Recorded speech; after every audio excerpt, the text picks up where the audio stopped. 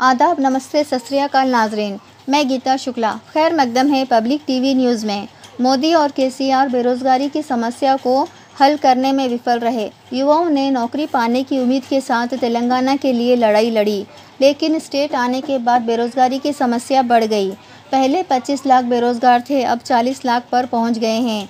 अपने परिवार को नौकरी देने का वादा करने वाले केसीआर ने अपने परिवार को नौकरी तक नहीं दी। बेरोजगारों को सहारा देने आ रही है प्रियंका गांधी। स्टेट में कांग्रेस की सत्ता में आना तय है। अक्टूबर में चुनाव हुए तो नवंबर में होंगे चुनाव। अस्सी हज़ार उनचालीस पद भरे जाएँगे।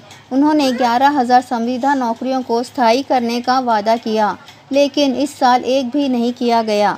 तीन लाख एम्प्लॉयज़ ने कहा, और एक लाख पचास हज़ार पोस्ट सैंक्शन है। केसीआर की अक्षमता और भ्रष्टाचार के कारण पेपर लीक हुआ है।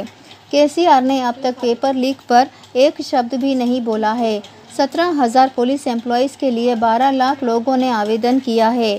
तो आप समझ सकते हैं कि मामला कितना गंभीर है। गवर्नमेंट यूनिवर्सिटी में मिनिमम फैसिलिटीज़ के लिए स्टाफ नहीं है।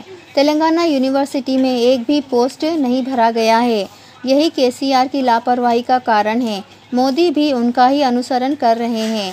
उन्होंने हर साल दो करोड़ नौकरियाँ बदलने की बात कही।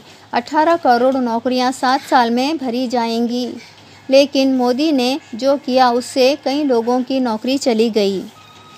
हमारे चैनल को लाइक, शेयर और सब्सक्राइब करें।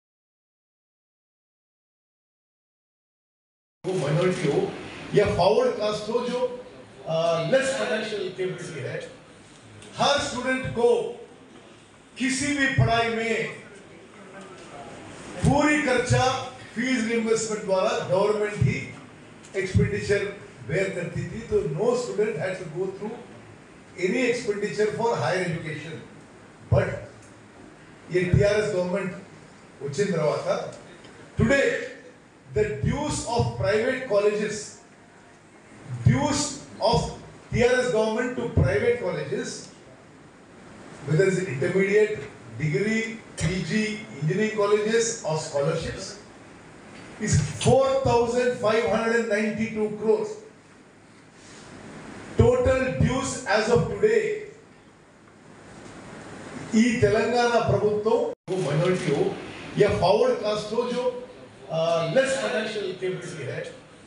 हर स्टूडेंट को किसी भी पढ़ाई में पूरी खर्चा फ़ीस रिइंबर्समेंट द्वारा गवर्नमेंट ही एक्सपेंडिचर बेयर करती थी। तो no student had to go through any expenditure for higher education but ये टीआरएस गवर्नमेंट उचित रहा था। Today the dues of private colleges of TRS government to private colleges, whether it's intermediate, degree, PG, engineering colleges or scholarships, is 4,592 crores.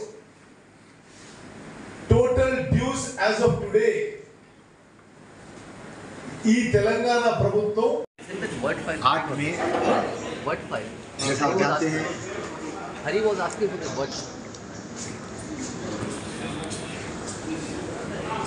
eighth में प्रियंका गांधी हैदराबाद, तेलंगाना सरू नगर stadium में youth declaration, education, employment के बारे में policy announce करने वाली है Congress party. जैसा आप जानते, हिंदुस्तान के प्रधानमंत्री और हमारे स्टेट के चीफ मिनिस्टर के सी चाहे वो एजुकेशन हो, चाहे एम्प्लॉयमेंट हो सिर्फ़ बड़े बड़े बातें करते, भाषण देते, बकवा करते,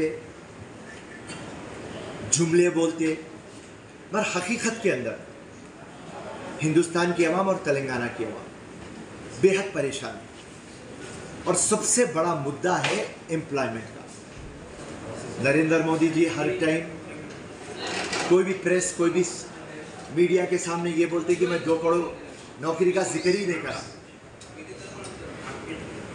जी टीवी इंडिया चैनल के ऊपर आप ज़िक्र करें। मेरे पास उसकी रिकॉर्डिंग है, मैं होना है तो मैं बता दूँगा आप लोगों को। दो करोड़ के हिसाब से नौ साल हो गए अट्ठारह करोड़ नौकरियाँ। कहा है मोदी जी?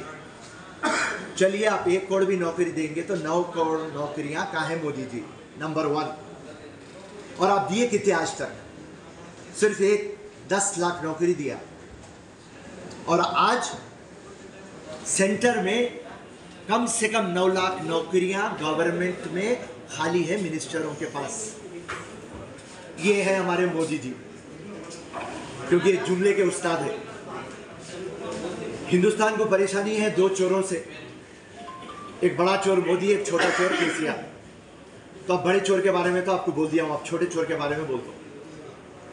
केसीआर जब आए तो ये बात बोले हैं कि कांग्रेस लूट लिया सबको। हम दे देंगे नौकरियाँ।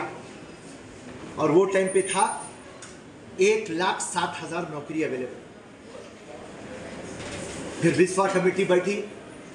उसमें पता चला कि एक लाख नब्बे हज़ार नौकरियाँ हैं। आज के दिन दो लाख नौकरियाँ।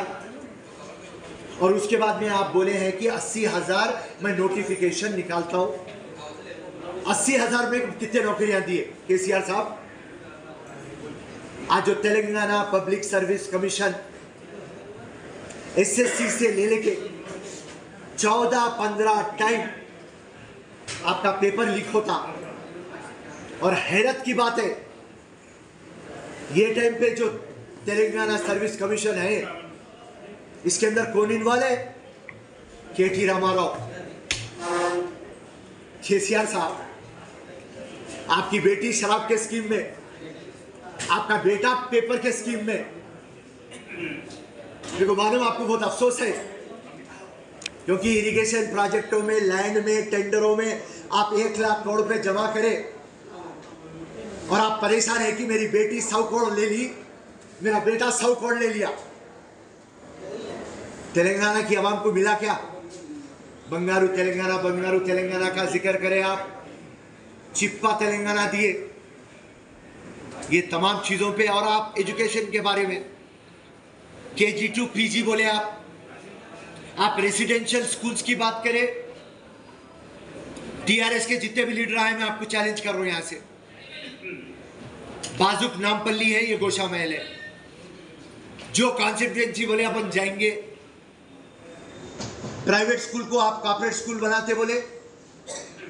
रेसिडेंशियल स्कूल में आप बेहतरीन लॉन स्विमिंग पूल इंफ्रास्ट्रक्चर बेहतरीन लंच क्वालिटी वाला।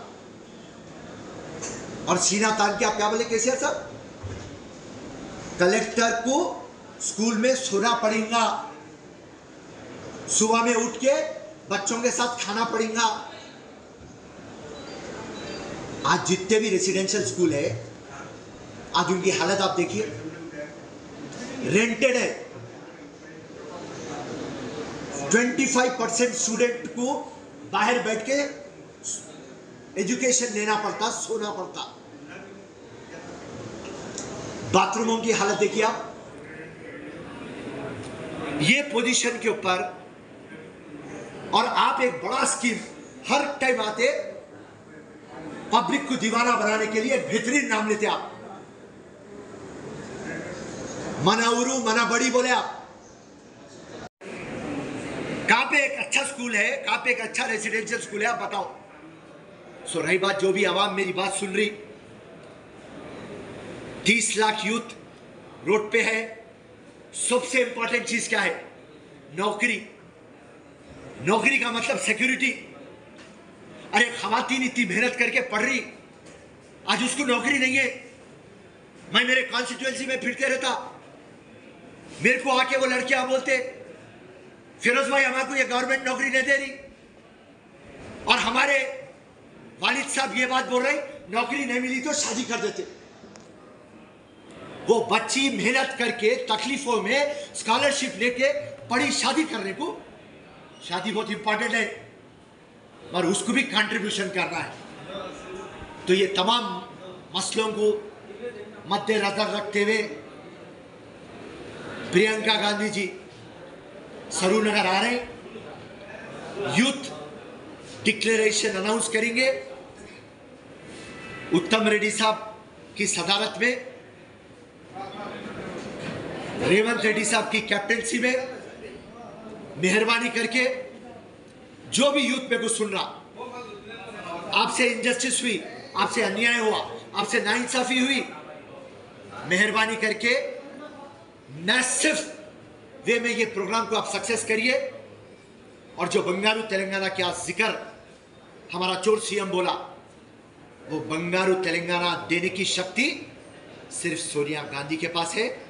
और आपका सपोर्ट होगा और जनता का आशीर्वाद होगा।